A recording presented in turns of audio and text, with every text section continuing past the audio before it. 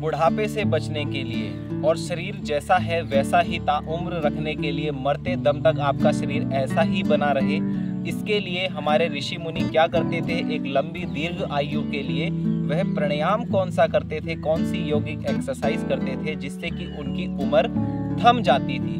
तो आज की वीडियो में मैं आपको यही बताऊँगा। तो अगर आप चैनल पर नए हैं तो चैनल को सब्सक्राइब ज़रूर देखिए। हमारे शरीर में 10 प्रकार के प्राण कार्य कर रहे होते हैं, जिन पर आपको विजय प्राप्त करनी होती है। अगर आप 10 प्राणों पर विजय प्राप्त नहीं कर पाते हैं, प्राण, अपान, व्यान, उदान और समान, ये तो हमारे महाप्राण हैं। इनके ही कुछ उप प्राण हमारे शरीर में कार्य कर रहे होते हैं, जैसे कि नाग, कूर्म, क्रकल, देवदत्त और धनंजय।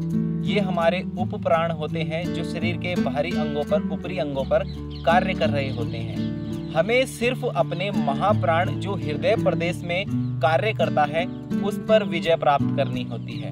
तो महाप्राण पर विजय प्राप्त करने के लिए हमें कौन सा अभ्यास करना चाहिए?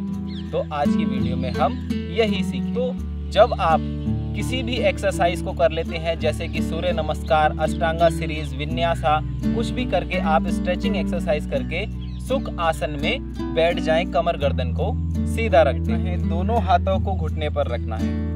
अब लंबा गहरा श्वास भरना है और होल्ड रखना है। जितनी देर तक आप श्वास को भीतर रोक सकते हैं, चेस्ट में रोक सकते हैं, उतनी देर तक होल्ड करें, काउंटिंग करें सेकंड काउंट करें। आप मिनट तक भी कर सकते हैं, जितनी आप टाइमिंग के साथ इसको काउंट करें और फिर एक्सेल कर दें। फिर से इनहेल करें होल्ड रखें। और फिर एक्सेल कर दें इसी प्रकार आप इनहेल करें होल्ड करें और फिर एक्सेल करें और धीरे धीरे इसकी टाइमिंग को बढ़ाते जाएँ। कुछ टाइम बाद आपकी जो टाइमिंग होगी वो 10 मिनट से 20 मिनट के बीच पहुँच जाएगी बहुत ही आसानी से। और जब आपकी 20 मिनट तक टाइमिंग पहुँच जाती है ब्रीथ को होल्ड करने की तो आप अपने प्राणों पर विजय प्राप्त कर लेते हैं बहुत ही आसानी से।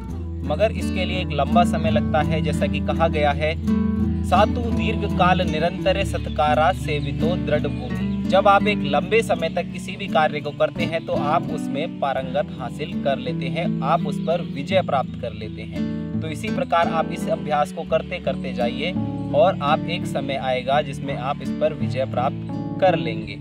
तो इसी के साथ ही हमें थोड़ा बहुत खान पान पर भी ध्यान रखना होता है, जैसे कि आपको तामसिक भोजन से बचना है, अधिक क्षारिय, तिक्त, कटु और अम्लीय ऐसे भोजन से बचना है।